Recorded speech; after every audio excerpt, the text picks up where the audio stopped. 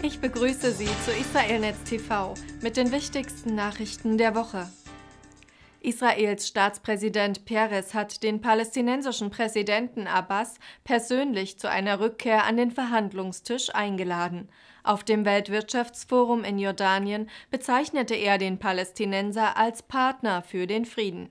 Beide Seiten müssten die Schwierigkeiten und Gefahren überwinden, die erneute Bemühungen um Frieden behinderten. Abbas betonte in seiner Rede, ein gerechter Frieden müsse sowohl ein Rückkehrrecht für alle palästinensischen Flüchtlinge als auch die Freilassung von in Israel inhaftierten Palästinensern beinhalten. Muslimische Geistliche haben am Mittwoch das ehemalige deutsche Vernichtungslager Auschwitz in Polen besucht.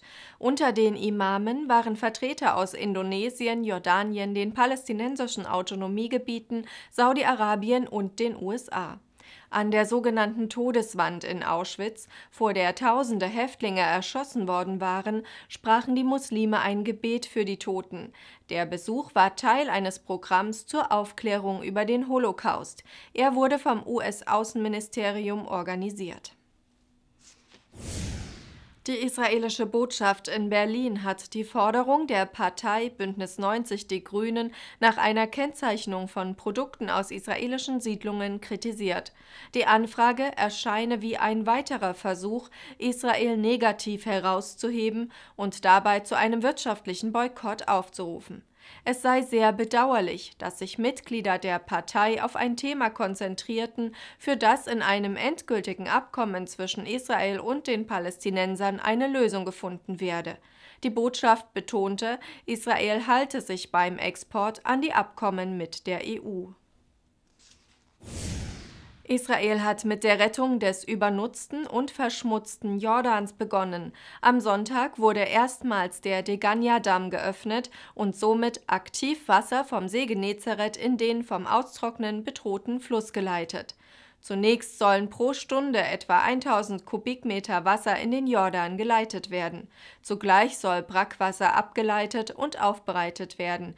Dieses soll dann in der Landwirtschaft genutzt werden. Zu dem Projekt gehört auch der Bau von Abwasseranlagen.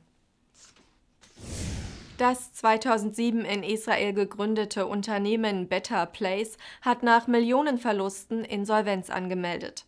Der Konzern hatte gemeinsam mit Renault Elektroautos vermarktet.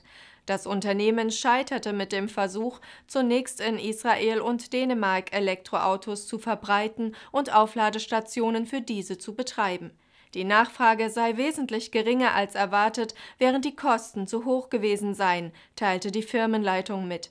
Im November hätten sich Verluste von mehr als 560 Millionen Dollar angehäuft. Das war Israel Netz TV für diese Woche. Wir freuen uns, wenn wir Sie nächste Woche wieder zu den wichtigsten Nachrichten aus Politik, Wirtschaft, Kultur und Religion begrüßen dürfen.